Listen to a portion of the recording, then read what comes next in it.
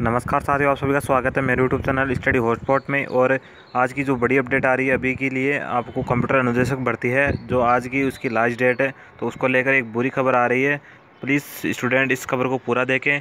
तो आप देख सकते हैं, ये अभी अभी जो ये राजस्थान, उसकी तरफ़ से ट्वीट किया गया है बेशक और जो वरिष्ठ कंप्यूटर अनुदेशक भर्ती है, उसको लेकर ऑनलाइन आवेदन करने की जो अंतिम तिथि है और आज और आज अंतिम तिथि के दिन कर्मचारी चयन बोर्ड की जो वेबसाइट है, वह उसने दम तोड़ दिया है और ऑनलाइन आवेदन नहीं होने से अभ्यर्थी हो रहे हैं। परेशान फ़ोटो और हस्ताक्षर के बाद में बोर्ड की वेबसाइट है वो आगे नहीं चल रही है और कर्मचारी चयन बोर्ड ने जल्द से सर्वर में सुधार करने की जो गुहार है वो लगा रहे हैं। तो आज जो कंप्यूटर निदेशक भर्ती है, उसको लेकर आज लास्ट तारीख है और अभी जो इसकी वेबसाइट है, वो सही तरीके से नहीं चल रही है, जिससे स्टूडेंट काफ़ी परेशान हो रहे हैं और काफ़ी स्टूडेंट हैं, जिन्होंने अभी तक अप्लाई भी नहीं किया है। तो काफ़ी दिनों के बाद में एक तो ये भर्ती आई है और इसके लिए आज लास्ट तारीख है, उसके बाद भी ये जो साइड है, वो नहीं चल रही है।